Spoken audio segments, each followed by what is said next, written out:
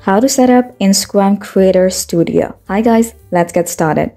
First, open up your Instagram application on your device and log into your account if you haven't logged in yet. Once you're logged in, tap on your profile at the bottom right corner.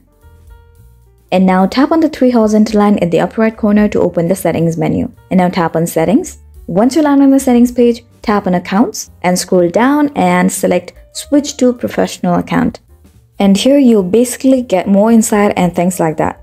So click on continue here. This will just walk you through the benefits of a creator account. And now once you finally come up to this page, select a category that describes you best. So if you're doing something related to business or entrepreneurship, then you can go ahead and select that one.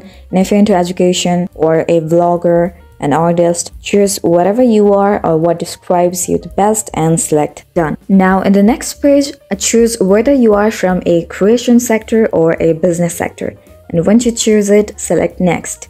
Again, tap on next, select not now, and here tap on complete your profile if you want to set up the rest of your profile. And if you're done tap on the cross icon at the upper left corner. And that's it. You have now successfully set up your creator studio. Creator accounts are best for public figures content producers artists and influencers while business accounts are recommended for retailers local businesses brands organizations and service providers. So choose your sector wisely. And that's it. That's it for today's video. I really hope this video is going to help you out and thank you for watching till the end.